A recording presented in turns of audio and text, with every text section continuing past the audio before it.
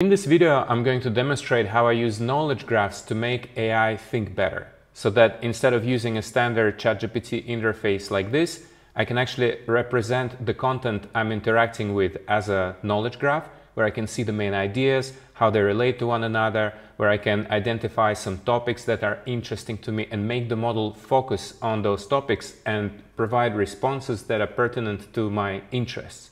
And most importantly, where I can use this underlying knowledge graph to enhance the model's understanding of the content that I'm interacting with so that it can provide me better results that are less generic, that are more in line with the relations and connections I'm already interested in.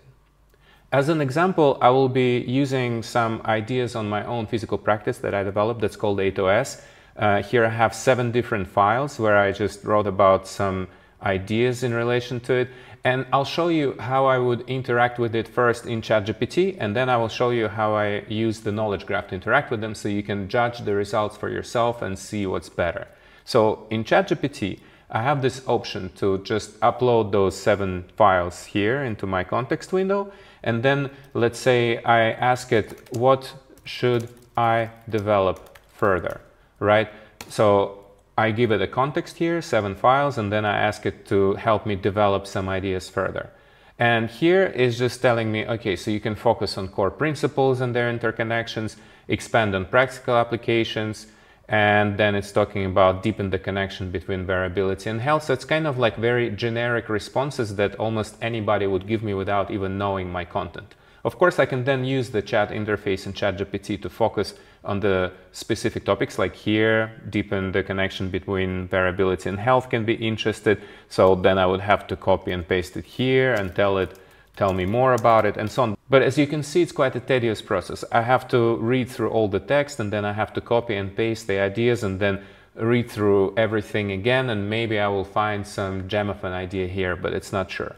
The difference is that when I have a knowledge graph, like I have here inside uh, Obsidian, Obsidian is a note-taking app, and here the knowledge graph is provided by the Infranodus plugin for Obsidian, I can ask Infranodus to generate a knowledge graph for me for this folder. So in this folder, I have those seven documents. They're stored on my computer. I have it visualized as a graph. So already I have a really good overview of the main ideas inside. I see that I'm writing about variability, ideograms, fractal principles and so on. This gives me a really good reminder of the content that I'm exploring, right?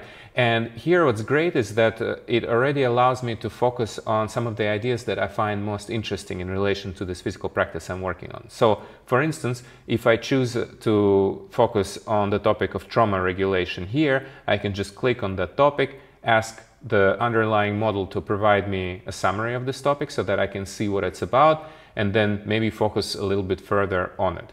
In the same way, I can also tell the AI chat inside Infranodus to actually tell me uh, what I should focus on. So what should I focus on here? But the difference with uh, ChatGPT is that now Infranodus will actually take the underlying graph structure and try to see what are the gaps inside and then use this information to provide a response for me that would bridge the gaps in my content. So it already performed the analysis of the underlying structure, found some inconsistencies. You can actually see it here. It says that the diversity is dispersed, so it's advising me to connect ideas together or the topics, right? And then the response that it provides through this chat will already take this into account. So it will ensure that I'm making connections between the topics that are maybe not so well connected. Here it's saying focus on the relationship between fractal movement and variability. So that was similar to uh, ChatGPT response, but uh, this was just one of the responses here, and I think it was talking about variability and health. And here, the answer is much more specific. It's telling me how I can actually focus it. So uh, as I know this material, I know it's much more precise. Like it's telling me, okay, so fractal movement variability, this is an interesting connection. Then also think how you can represent it through ideograms. This is something I'm writing about also, how you can use visual language to represent ideas and to give feedback. And then personal growth would be a self-reflection. So that's kind of like connecting the idea of how representing information allows you to reflect on yourself and to change your normal patterns of behavior. So that is a really good answer actually that gives me an idea for how I could develop those ideas further. For instance, if I want to write a text based on those seven files for my website, I could do that. So I'm actually going to save it into Infranodus. I click this button and save it into a special graph that's called from Obsidian plugin, where I have some other ideas also. So that's also like a really good way to store some insights that you get. And then what I can also do, I can ask the system to focus on the specific aspects of this content. So for instance, here I have this whole red cluster on trauma regulation, right? Uh, traumatic experiences, deficient, PTSD. So I want to know more about this topic. So I select this topic and then I can ask the built-in AI to give me a summary of this topic. So I can click on the summary button here and ask it to generate a summary of that. I see that it's about um, exploring connections between motion detection, self-improvement, mathematics, dance, and ecological thinking, highlights the importance of ideograms and communication so that it's kind of taking the whole graph into account, but then it tells me in particular how you can uh, speak about the relationship between low RSA, PTSD, and emotion regulation. So that gives me already some specific ideas for how I can address trauma regulation through my practice just because I focused on this topic. And what's more, I can even, while being focused on the topic, I can go back to AI chat. I can clear the previous conversation I had. I can verify that the context now is this particular topic. And then I can ask it, okay, how I can develop this topic further. So I don't have to uh, copy and paste the content of this topic because I already did that through the graph and now I'm just talking to the graph. Uh, so I'm saying, okay, here I want to develop this topic on trauma regulation further, how I can do that. It's saying explore the connection between variability, dynamics, and breathing to understand how they influence emotion regulation in PTSD. Investigate how inconsistent arousal patterns linked to low vagal tone affect trauma responses and recovery strategies. So this is already a very good beginning for an article that I can write on my website where I want to talk about how breathing can actually affect our well-being and how introducing more variability in breathing and movement can help us be more adaptive and even deal with the trauma responses. So this is already something that I can use to actually start writing about this topic if my uh, end goal is to write or where I can kind of use this graph to instigate uh, thinking in this direction again. Once again, I can then deselect this topic and focus on some more stuff. So for instance, here I can actually remove variability of movement from the graph because I already know that these topics are present almost anywhere in the seven files, right? So there I'm also slicing off the top layer of concepts and now I'm seeing what's underneath. And this is a really great way to also uncover responses that would be less generic through the graph. So here I'm telling the model, okay, now these, these will be the main ideas. Now you will use these as a scheme for thinking uh, in relation to the questions I ask. So here I'm going to say, okay, let's talk about physical states and for example, fractal dynamics, physical states, fractal dynamics. Now I go back into my AI chat. I can also clear this conversation so it doesn't influence the context. Then I can verify that the context is indeed physical states, fractal, and dynamics, right? And then I can ask it, okay, how I can develop this in relation to dealing with trauma. So now it's using this context in the graph to answer this question that I provided. And here it's telling me in dealing with trauma, adopting varied physical practices like Tai Chi can enhance neural dynamics and emotional regulation by embracing ideograms representing fractal bodiless states. One fosters flexible health responses to traumatic triggers. So the idea here is that how you can actually read the movement and uh, uh, dynamics of movement uh, then deliver it back to the person who is uh, uh, interacting with whatever system we have here and how this, these responses could be used to then change the behavioral patterns or responses in order to make them more adaptable and resilient through these ideograms and visual representations, right? So this is like a very interesting way to actually focus on the concepts that you find interesting and then seeing what else they're connected to like we have here and then using this as a context to then develop your ideas further. So it's like you telling the model, okay, this is kind of like the scheme of what I'm thinking about. These are some relations I already made. Now try to think together with me how you can develop those ideas further, but don't make things up. Don't come up with some hallucinations or generic responses. Rather focus on the specific stuff I'm interested in. If I choose here RSA, PTSD, and traumatic, for instance, right, and then I can ask it, what about this? I can even ask general questions like that.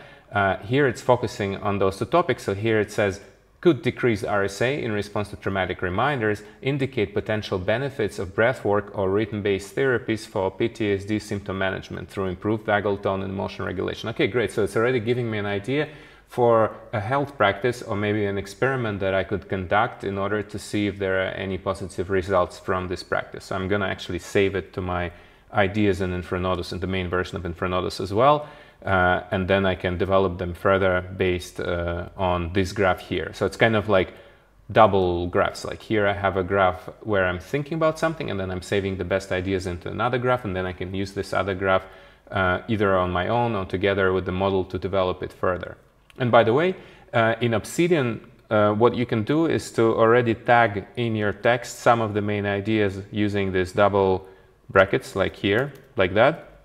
And then they will be visualized as a graph in Infranodus. So then you build a graph that is much more specific and precise in relation to your interests. However, if you just have standard text, you can also do it on standard text. For example, here I have a whole folder on AI. These are also some ideas I'm having on AI, on knowledge bases, for instance, on Infranodus, on how Infranodus can be integrated with AI. So I can also visualize the content of this folder. By the way, here, the important thing is that uh, in the settings, I can say that it should visualize wikilinks, so these specially tagged concepts and just the standard concepts. And then I reload the graph, so it gets like a much bigger graph that is more detailed. And then I can see, okay, these are the main ideas inside. Uh, relations between chunks of text, uh, creation of graphs, knowledge bases, so that gives me a good understanding of what this content is about. Now I can select the gaps here and say, okay, so I've been making these notes. This is about uh, maybe 10 notes or 15 notes. I want you to generate some interesting idea for me. So I can focus on this gap.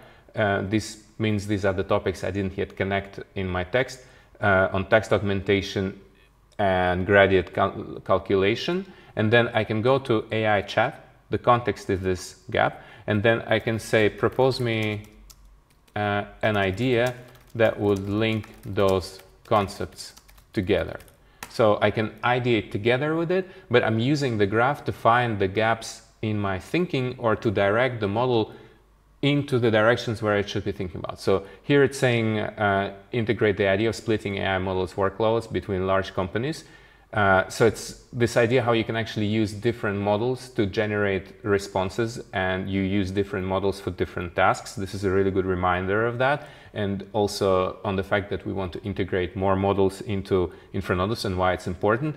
And here it's saying how you could also shift the model computations from server to user devices using LangChain chunking for efficiency. So also kind of like uh, improve processing speeds and then employed uh, some, uh, some instrument to handle complex document processing. So that's kind of interesting because you see already based on this gap, I can generate some idea that can help me develop those ideas further. So this is just to show you that you can use it with standard text as well. And you can use this graph interface in order to interact with the model in a way that relates to your interests.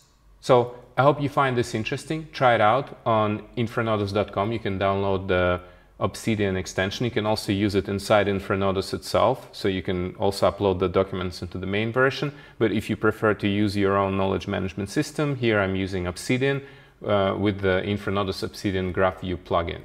And you can also use the Infranodus extension. So even if you're having a conversation with your ChatGPT, you can use the browser extension of Infranodus to uh, make all the same things. Like you generate the response with ChatGPT, and then you ask the model to focus on specific topics, like here, ecological visualization, and then you use the built-in chat to speak about it, like uh, tell me more about it.